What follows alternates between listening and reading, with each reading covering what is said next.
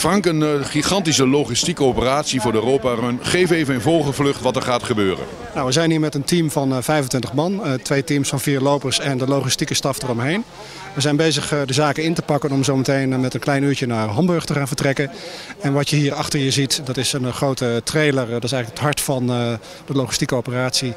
Waarin mensen kunnen slapen, waarin gegeten wordt. Althans gelegenheden zijn om daar te eten. En jij zorgt voor de catering? Ja, ik maak deel uit van het basiskamp, zoals het dan met een mooi woord heet. En ik maak deel uit van een aantal mensen die ervoor zorgen dat iedereen zijn natje en zijn droogje krijgt. En dat is heel belangrijk met de enorme afstanden die gelopen moeten gaan worden. Ja, gigantische containers met water worden meegenomen. Ja, dat, uh, ik heb begrepen dat het uh, bijna 2000 liter is, of 2000 liter. Dus ja, dat is uh, nogmaals wat ik zeg, een, een flinke logistieke operatie. Iedere keer twee, twee, keer vier lopers. En wat lopen die nu uh, exact? Die vier lopers die lopen steeds ieder een blok van, uh, van vijf uur. De lopers zelf lopen dan in zo'n blok steeds twee kilometer. Worden met een busje meegenomen, worden eruit gegooid. Als de, vervolgens rijdt het busje twee kilometer door. wordt de loper weer opgepikt, gaat de andere loper eruit enzovoort. Vijf uur lang. En dat betekent in de praktijk dat ze ongeveer 75 kilometer hebben gelopen bij het einde van de Europa Run. Ieder team, ieder teamlid eigenlijk. Ja, ja. En dan hopen jullie binnen te halen hoeveel geld? Ja, de, de, vorig jaar zaten we rond, ik meende 3.000, 24.000 euro. Maar we proberen nu uh, wel uh, toch bij de 30.000 te komen en wellicht uh, meer.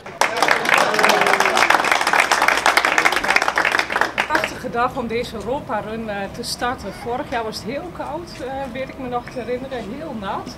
Overtuigd dat jullie ongelooflijk veel uh, succes. En ik heb gezien dat jullie echt een team zijn met. Gerben, ze hebben hier nog even afscheid genomen. van waar die sponsoring door jou van de Europa Run? Nou, ik vind het heel belangrijk dat er uh, gewoon uh, hard gewerkt wordt om uh, dat probleem kanker de wereld uit te helpen. Er is gewoon ontzettend veel ellende bij gezinnen en bij families allemaal.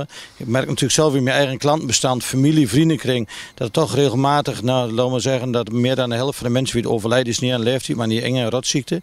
Dus er moet gewoon geld beschikbaar komen en ja, dat kan alleen maar door donatie. En wij als autowinkelaars hebben één keer per jaar doen grote uitgave aan een speciaal project, zeg maar. Dat is al de Canjas geweest, SKB voor Gambia, nou noem maar allemaal op. Dit keer zijn we 100% running.